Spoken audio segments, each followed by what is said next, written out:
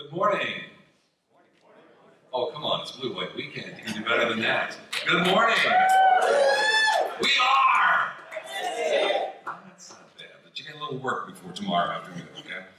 I'm Jeff Brown. I want to welcome you to the first ever IST Startup Tank.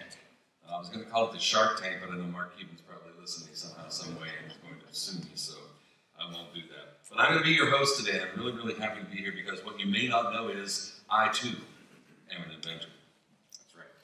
Fifth grade, sixth grade, something like that, I told all my friends that I was going to be a rock star. And when I put out an album, it was always going to be a double album.